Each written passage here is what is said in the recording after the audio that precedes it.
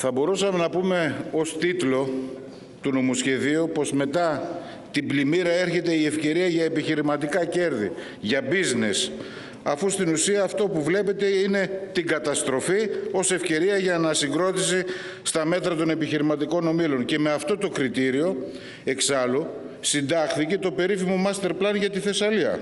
Αφού σε όλες του τις σελίδες αυτό που ξεπροβάλλει είναι πρώτον η εγκληματική πολιτική του κόστους ωφέλους που άφησε τον κάμπο στο έλεος των πλημμυρών. Η καταστροφή αντιμετωπίζεται ως επενδυτική ευκαιρία,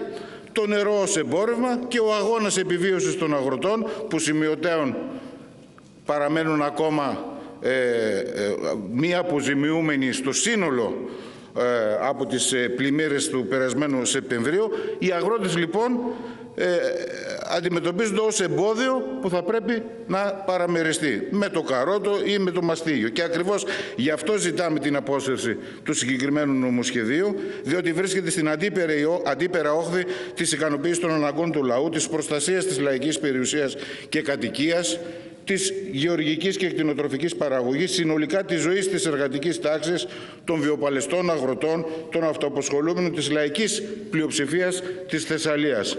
Προωθείται σε συνέχεια των προηγούμενων κυβερνήσεων την περαιτέρω εμπορευματοποίηση και ιδιωτικοποίηση του νερού, ενός βασικού αγαθού για τον άνθρωπο, μέσω της διαχείρισής του από μια ανώνυμη εταιρεία. Στην ουσία προωθείται αυτούσιο το στρατηγικό σχέδιο ανασυγκρότησης της Θεσσαλίας που περιγράφεται στην έκθεση των Ολλανδών. Έτσι η διαχείριση του νερού μέσω της δημιουργίας της ανωνύμου εταιρείας μετατρέπεται σε εργαλείο συνολικότερων αντιδραστικών αναδιαρθρώσεων σε ολόκληρο το υδατικό διαμέρισμα της Θεσσαλίας, ανοίγοντας διάπλατα τις πόρτες για τη διαχείριση τόσο των υδάτων όσο και των έργων από τους επιχειρηματικούς ομίλους. Και προς αυτή την κατεύθυνση συγκεντρώνονται στην ανώνυμη εταιρεία ευθύνες και αρμοδιότητες που ασκούσαν τοπική και περιφερειακή ε, διοίκηση. Η ανώνυμη ε, εταιρεία θα αναθέτει μελέτες κατασκευής κάθε είδους σε σχέση με τα νερά σε εταιρείες ομίλους που θα εκτελούνται με βάση τι, την κερδοφορία τους. Έχουμε χώριση σε επιχειρήσεις του συντονισμού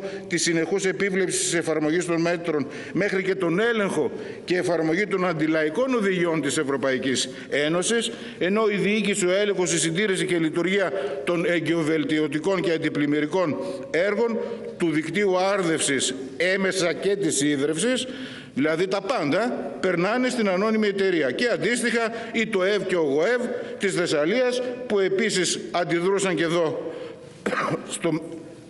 στη ρύθμιση του νομοσχεδίου μεταφέρονται στην ανώνυμη εταιρεία. Αποτέλεσμα των ανωτέρων, η απόλυτη κυριαρχία της ανωνύμου εταιρείας ως φορέα διαχείρισης του νερού στη Θεσσαλία με αποφασιστικό στρατηγικό ρόλο και στην αντιπλημμυρική ε, προστασία. Και βέβαια με τη δημιουργία της ανωνύμου εταιρείας ανοίγεται το δρόμο για τη διαφορετική τιμολόγηση του νερού από περιοχή σε περιοχή μετατρέποντάς το σε ακόμα πιο ακριβοπληρωμένο εμπόρευμα και όπως λέει ο λαός θα πει το νερό νεράκι. Έτσι η χρηματοδότηση των επιλέξιμων έργων και διαχείριση των υδατικών πόρων δεν θα γίνεται με κριτήριο την εξασφάλιση φθηνού και ποιοτικού νερού στο λαό της περιοχής ή την προστασία της περιοχής από πλημμύρες, την εξασφάλιση αρδευτικού νερού στους βιοπαλαιστές αγρότες ή την προστασία της ζωής, της περιουσίας του λαού, της πρωτογενής παραγωγής ή την προστασία του περιβάλλοντος. Θα γίνονται με ένα και μοναδικό εγκληματικό κριτήριο, το κόστος όφελος και των ε, αντοχών της οικονομίας.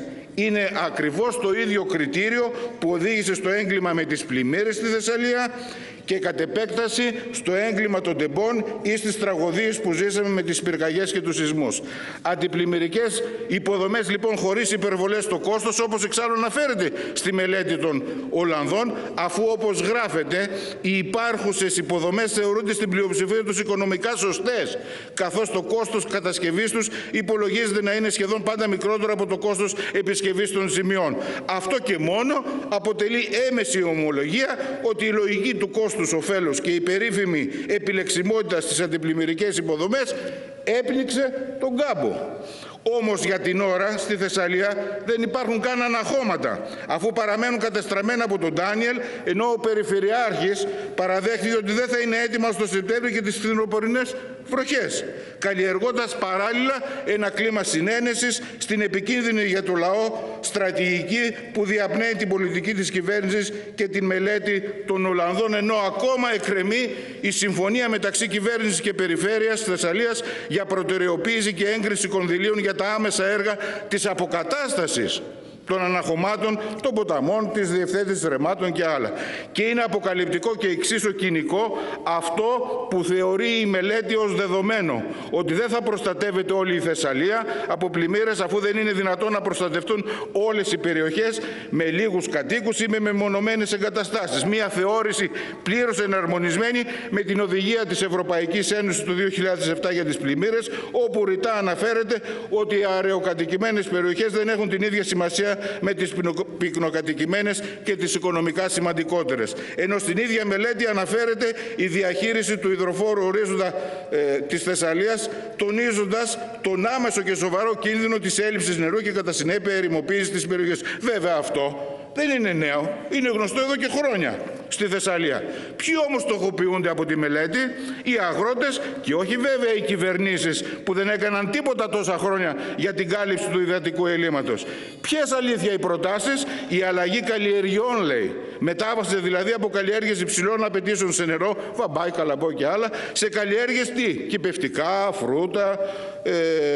που χρειάζονται λιγότερο νερό αλλά και χώρο, δηλαδή γη. Έτσι οι αγρότες θα πρέπει να αλλάξουν γεωργικό εξοπλισμό που σημαίνει κόστος και να μειώσουν τα στρέμματα που σήμερα καλλιεργούν ανεξάρτητα από την κατασκευή για παράδειγμα ταμιευτήρου νερού στα ορεινά ή αν γίνει η μεταφορά υδάτων από τον άνω του Αχελό. Μάλιστα προκειμένου να συμμορφθούν οι αγρότες προς τις υποδείξεις προτείνονται μέχρι και μέτρα καταστολής σε βάρος τους. Πρόστιμα, αύξηση της τιμής της κιλοβατόρας για όσους ποτίζουν με γεώτρηση αφού πρέπει όπως αναφέρεται να τεθεί τέλος σε αυτή την οτροπία όπως λένε των αγροτών, όπως γράφεται, των αγροτών που μάλιστα ζημιώνουν τους πολλούς. Ξεκάθαρα επίκληση, επίκληση του κοινωνικού αυτοματισμού, μιας απαράδεκτης τακτικής που ζήσαμε και στο παρελθόν της περίοδους ε, λειψιδρίας στη Θεσσαλία. Τα ανωτέρως σε συνδυασμό με την εναρμόνιση του master plan των Ολλανδών, με την ΚΑΠ κοινή αγροτική πολιτική της Ευρωπαϊκής Ένωσης. Και με την αποκαλούμενη πράσινη και ευφυή γεωργία έρχονται να επιταχύνουν το ξεκλήρισμα των βιοπαλαιστών αγροτών, τη συγκέντρωση γης και παραγωγής, την ένταση της εμπορευματοποίησης των υδάτων, την αύξηση του κόστους άρδευσης και ίδρυυσης που οδηγούν σε αλλαγή χρήσης και της γης στη βάση των επενδυτικών σχεδιασμών της, ε, της, ε, στη, στη, Θεσσαλία που μάλιστα και η ίδια η εταιρεία η Ολλανδική ε, απεργάζεται. Είναι προφανές πως, πως η σημερινή κυβέρνηση της Νέας Δημοκρατίας όπως και οι προηγούμενες του ΣΥΡΙΖΑ, του ΠΑΣΟΚ αντιμετωπίζουν το νερό και τη χρήση του ως εμπόρευμα σε βάρος των λαϊκών στρωμάτων και όχι ως κοινωνικό αγαθό στο πλαίσιο αυτού του δρόμου ανάπτυξης, του καπιταλιστικού δρόμου ανάπτυξης και στη χώρα μας. Λύση λοιπόν για το λαό δεν μπορεί να αναζητηθεί στη διατήρηση της σημερινής κατάστασης του υποτιθέμενου δημόσιου που λειτουργεί με ιδιωτικοοικονομικά κριτήρια και έχει ως μοναδικό στόχο την αύξηση του ποσοστού κέρδους. Ούτε βέβαια σε μάτιε αναζητήσεις της δίθεν λιγότερο επώδυνης διαχείρισης μεταξύ της πλήρους ιδιωτικοποίησης ή των ΖΙΤ ή της σύμπραξη δημοτικών φορέων με ΜΚΟ ή της λεγόμενες εναλλακτικέ που έχουν όμως έναν κοινό παρονομαστή, την αποδοχή της θυσίας των λαϊκών αναγκών στο βωμό της ανταγωνιστικότητας, δηλαδή της κερδοφορίας των επιχειρηματικών ομήλων. Η διαχείριση του νερού, ως κοινωνικού αγαθού προς όφελος του λαού προποθέτει ένα ριζικά διαφορετικό δρόμο ανάπτυξης, με κοινωνικοποιημένα τα μέσα παραγωγής στη γη, τον επιστημονικό και κεντρικό σχεδιασμό της οικονομίας και εργατικό έλεγχος. Σε αυτό το πλαίσιο, οι υδάτινοι πόροι, τα εργοστάσια επεξεργασίας νερού, τα δίκτυα άρδευσης, ίδρυυσης, η υποδομή αποχέτευσης και επεξεργασίας λιμάτων, οι υδροηλεκτρικοί σταθμοί θα αποτελούν κοινωνική κρατική ιδιοκτησία και ο ενιαίος κρατικός φορέας διαχείρισης του νερού θα μπορεί μπορεί να κατοχυρώνει τα νερά ως κοινωνικό αγαθό, να προβλέπει και να ικανοποιεί συγχρόνως το σύνολο των λαϊκών αναγκών και στον τομέα αυτό. Και κλείνω κύριε Πρόεδρε, ακριβώς σε αυτή την κατεύθυνση χρειάζεται να δυναμώσει πάλι του εργατικού λαϊκού κινήματος, των αγροτών, των αυτοαποσχολούμενων, όχι μόνο στη Θεσσαλία, διεκδικώντας αποφασιστικά και άμεσα φθηνό, ελεγμένο, ποιοτικό νερό για το λαό, μείωση των τιμολογίων, κατάργηση του νομοθετικού πλαισίου εφαρμογής της Ευρωενωσιακής Οδηγίας για το νερό, της επιχειρηματικής δραστηριότητας, άμεση υλοποίηση των αναγκαίων τεχνικών έργων εξασφάλισης επάρκειας και ορθολογικής διαχείρισης του νερού, χωρίς ΔΙΤ, συμβάσεις παραχώρησης, ολοκληρωμένη διαχείριση και προστασία δασών και δασικών εκτάσεων, αποκλειστικά από το κράτος, αποκλειστικά κρατικά, ολοκληρω... κρατική ολοκληρωμένη διαχείριση των υδατικών πόρων που θα αφορά την έρευνα, την προστασία, τη διασφάλιση επάρκειας και αξιοποίησής τους κατά υδατικό διαμέρισμα με πλήρη και σταθερή εργασία για το σύνολο των εργαζομένων στον τομέα του νερού κατ' επέκταση στους ε, ε, υπόλοιπους ε, τομείς. Για αυτούς τους λόγους, κύριε Πρόεδρε, καταψηφίζουμε το νομοσχέδιο και φυσικά έχουμε καταθέσει, όπως γνωρίζετε, και έτοιμο ονομαστικής ψηφοφορίας. Σας ευχαριστώ.